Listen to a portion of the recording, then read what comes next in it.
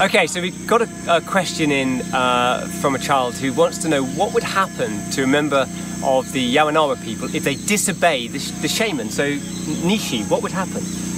Yes, uh, that's a very good question.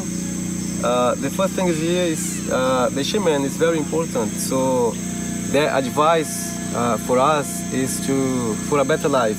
So if someone disobey a shaman, uh, this pers- this person is uh, don't have a respect to the shaman, and uh, therefore this person will be uh, in distance from the members until a period of a time when he reflects and come back and say sorry or yeah Yeah, I understand.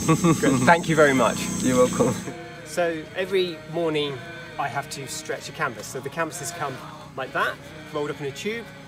This is my piece of hardboard, and that's one stretcher bar. That's what canvases go on.